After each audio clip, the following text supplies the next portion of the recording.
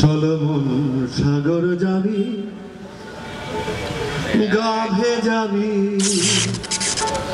নুন মাখবি, পিছন পানে ফিরবি না। চলো মন সাগর যাবি গাভে যাবি নুন মাখবি, পিছন পানে ফিরবি না।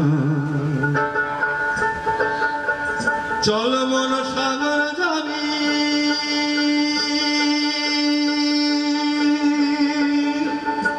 জয়দেব মেলায় কেতুলি মেলাতে যেটা সরলগণ্ডল খণ্ডলম মম শিরসী মণ্ডলম দেহি পদ পল্লব মুদারম।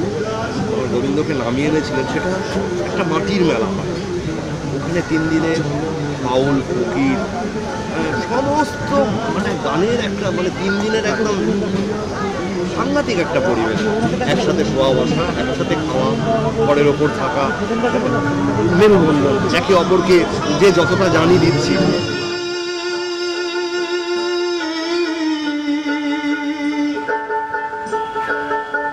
চল মন সাগর যাবি নাও ভাসাবি হাল ভাঙবি। ফসল তুলতে চাইবি না। চল মন সাগর যাবি, গাবে যাবি। কিচ্ছু যাওয়ার নেই, আমরা ভাবছি গেল গেল গেল কিছু যাবে না, কিছু আসবেও একটা আনন্দ চলছে, এই জন্য একটা মেলা হচ্ছে।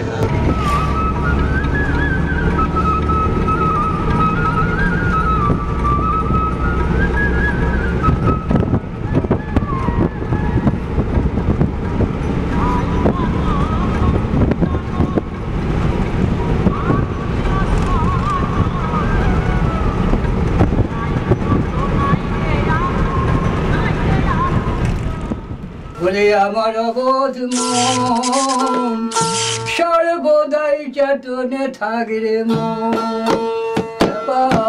বলে আমার অবোধ মন, সর্বদাই চেতনে থাকরে মন।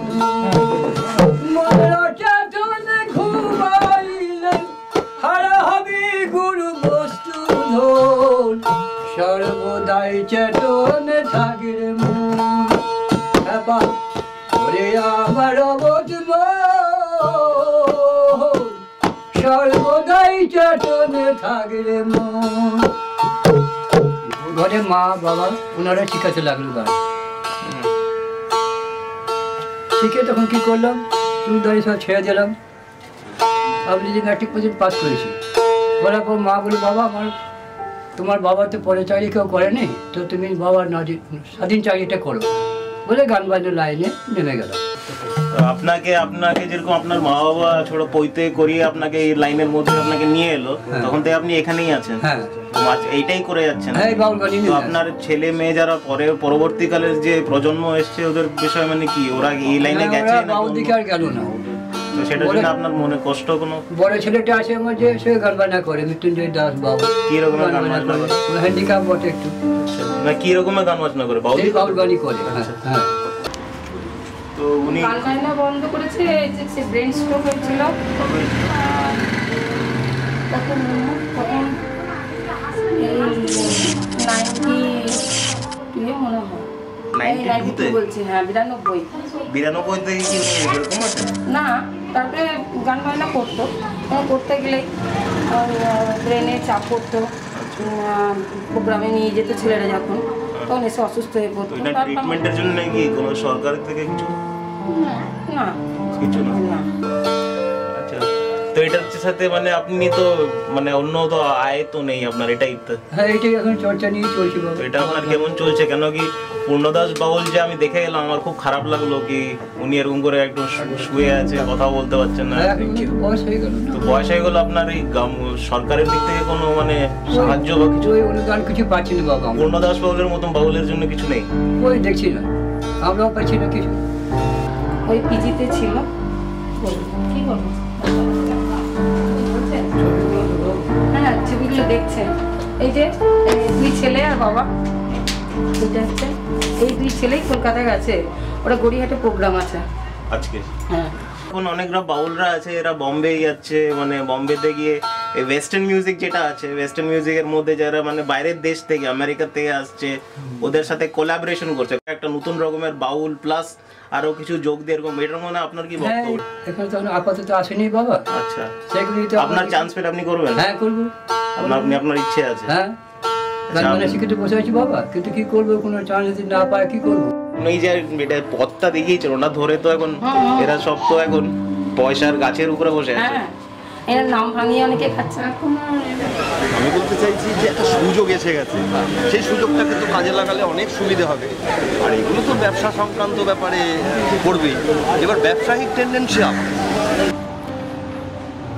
Purodas Baul, uh, I'm not sure because uh, a legend survives in its own.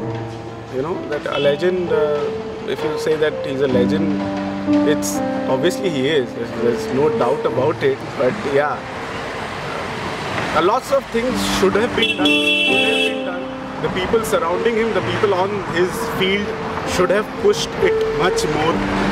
আমেরিকায় ছ মাস তিন উম, উনিশ দিন ছিল তা তখন তখন তো রেকর্ডের ব্যাপার। হ্যাঁ, সে বড় বড় record. LP record LP record যেগুলো সেই সব রেকর্ড আমার ঘরে এখনও ভরা আছে। বহুত রেকর্ড। গুরু রাধানাথ ভনে গুরু কান্ডারি বিনে কৃষ্ণ দাস কয় ভব নদীও তুই চলবি কেমনি ব্যাপারটা গায়ে লাগে না? ওনার ক্যাসেট বিক্রি করে রেকর্ড কোম্পানিগুলো এত টাকা বানালো কিন্তু এখন হ্যাঁ সেটাও শুনেছে ওনার ছেলেরা। বলছে কি করব? বাবার অনেক রিলেটিভ অনেক আছে বাবার। এটার জন্য আমার আপনার মানে আপনি এতগুলো আহ, আনন্দ দিয়েছেন তারপর এরকম আহ, এখন কি করব বেকার মতন বসে আছি। কোনো কর্ম আর নেই কোনো দিকে যেতে পারলাম না। কি করব এখন এই গান মজা নিয়ে এখন থাকি।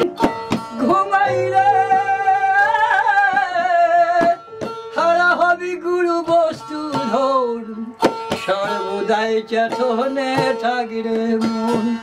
ওরে আমার মন সর্বদাই চেতনে থাকিরে মন সর্বদাই চেতনে থাকিরে মন।